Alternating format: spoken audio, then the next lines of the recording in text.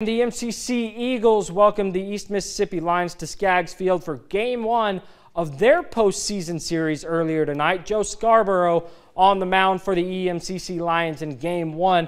Meanwhile, the Ole Miss signee Gunnar Dennis gets the ball for the Eagles in game one. Go ahead and pick this one up in the bottom of the second inning. Eagles first baseman Jalen Cowan gets a hold of this one, sends it over the right field wall for a solo home run.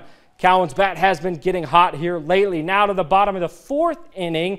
Brennan Studi up to bat for MCC. He drives this one into left center, bringing home Dalton McIntyre and Cooper Chaplin for the two RBI double. All that part of a nine run inning for MCC.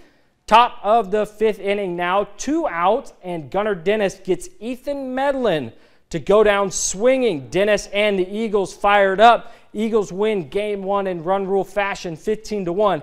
Game two scheduled for 6 p.m. tomorrow night at Skaggs Field, but could be changed depending on the weather.